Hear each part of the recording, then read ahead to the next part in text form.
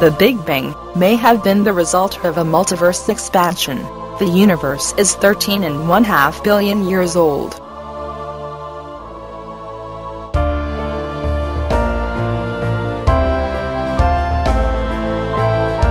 It is amazing just how fast life developed on Earth.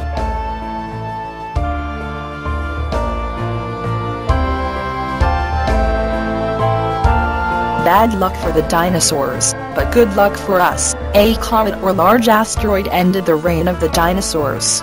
This allowed the small mammals hiding underground to evolve.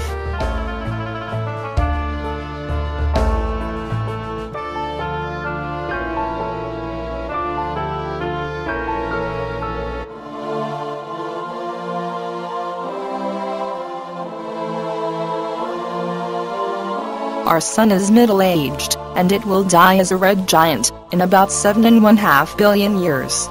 As the sun grows older it gets hotter. Earth will be unable to support life, long before the death of the sun.